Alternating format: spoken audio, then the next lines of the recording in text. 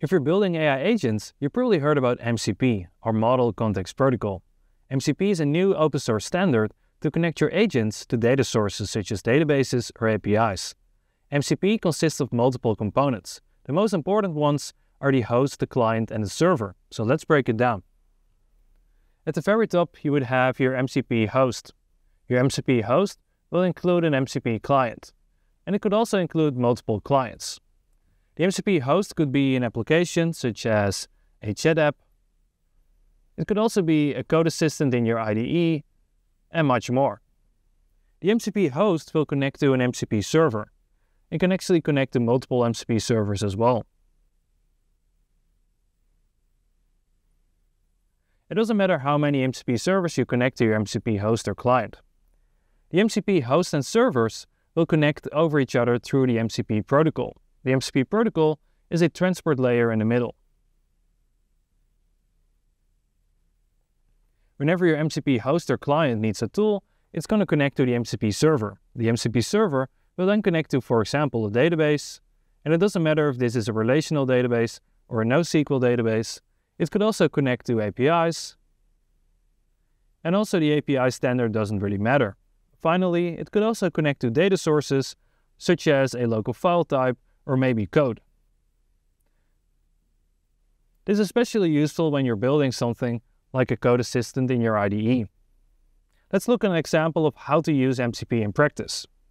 We still have the three components. We would have our MCP host and client, of course, we also have a large language model.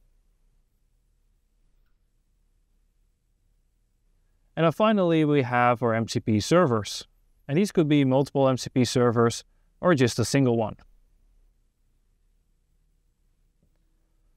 Let's assume our MCP client and host is a chat app. And you ask a question such as what is the weather like in a certain location or how many customers do I have? The MCP host will need to retrieve tools from the MCP server. The MCP server will then conclude and tell which tools are available. From the MCP host, you would then have to connect to the large language model and send over your question plus the available tools. If all is well, the LLM will reply and tell you which tools to use. Once the MCP host and client knows which tools to use, it knows which MCP servers to call. So when it calls the MCP server in order to get a tool result, the MCP server will be responsible for executing something that goes to a database, to an API, or a local piece of code. And of course, there could be subsequent calls to MCP servers. The MCP server will reply with a response, which you can send back to the LLM. And finally, you should be able to get your final answer based on the question that you asked in the chat application. If you are building agent, I would really advise you to look at MCP protocol. The MCP protocol is a new standard which will help you to connect your data sources via MCP server to any agent. Even though you might not be building agents, your client might be building agents. And if you enjoyed this video, make sure to like and subscribe.